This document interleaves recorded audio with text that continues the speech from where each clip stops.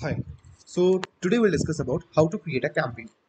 So basically there are a couple of options how we can create a campaign. So we'll discuss about all.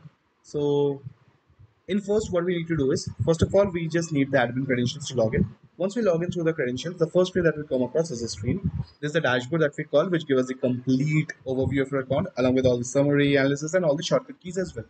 Now in order to create a campaign there is a shortcut key also over here as we can see that just beside upload leads there's a create campaign option just under the pin campaigns and above the lead analysis. Once we click on create campaign over here all the basic details have been fetched up.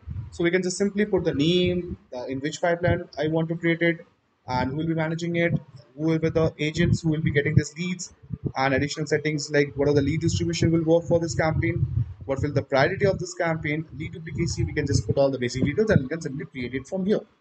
But the best idea and the best way to create a campaign is always we just need to go to the left hand side pipeline. Because pipeline is a kind of campaign category. And whatever the campaign you want to create it under that particular camp uh, pipeline so it would be easier to like get it done or like have a clarity on it. So what we'll do we just simply need to click on pipeline. Then there are whatever the pipelines are there or has been created in my account or in the account it's been present over here so in whatever pipelines we want to create a campaign. So that that particular campaign's leads would uh, work as a uh, like as a as that particular lead journey whatever has been set up for that particular pipeline. So what we'll do let's say like i want to create a folder or a pipe or a campaign uh, for sales. So what i'll do i'll just simply click on sales pipeline. So we have got entered into the sales pipeline. Under the sales pipeline whatever the campaigns have been already created all the campaigns been visible on the right hand side. If you want to edit it if you want to duplicate it we can do it. For edit uh, for edit stuffs we just need to click on that particular campaigns and then we can do if you want to view the leads view the call logs and in the action button we can edit it. We can create a, edit the engagement form we can upload the leads. So everything we can do we can view the tasks. We just go back. So in any of the campaigns if you want to create a duplicates of it in the right hand side there's a three dots option. We can simply click on it. We can copy it as well to get a new campaign duplicated to the previous campaign.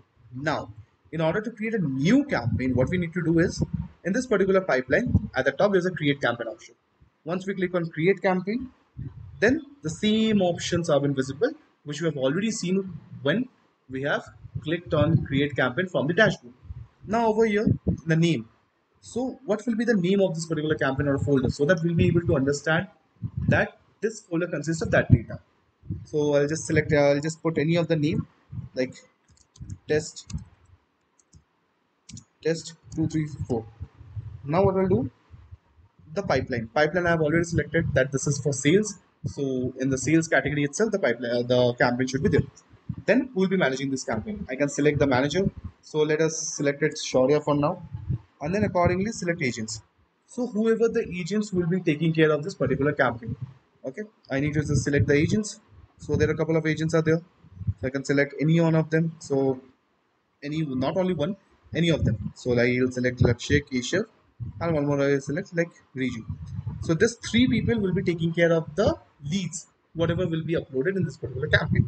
Now I'll go to additional settings. And additional settings lead distribution is there. Okay? So AI assignment equal assignment conditional assignment. So there are three of the uh, like three of the major lead distribution settings we can see. So what are the ways we want that in this particular campaign lead duplicacy uh, like lead distribution works? So we can select that particular uh, settings and accordingly the lead will get distributed to the users. Then after that the campaign priority. So we can select any of one of this it's better that if we just select highest so that uh, like if a particular person or a user has been added in multiple campaigns and if that person is not applying any filter and he or she is directly trying to call it from the uh, like main screen of the user portal. Then as per the priority only the system will start giving the leads to that person. So priority is very important okay? Unless or until if you're not applying any filter if you're just normally making the calls then as per the priority only the person will start getting the leads. Now the lead duplicacy there are a couple of lead duplicacy options there. In this particular campaign what kind of lead duplicacy should work? Ignore means if there are duplicates it will get ignored if there are duplicates merge duplicate means if there are duplicates it will get merged up create duplicates means That means if there are duplicates, the system won't check at all. The duplicates leads will automatically get created.